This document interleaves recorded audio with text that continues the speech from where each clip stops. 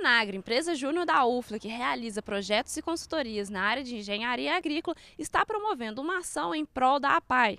Eu estou aqui com o Samuel para mais informações. Samuel, qual é o objetivo dessa arrecadação? É, para impactarmos a sociedade, temos que ter ciência da nossa responsabilidade social.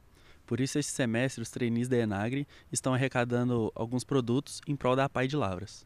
E quais são esses produtos?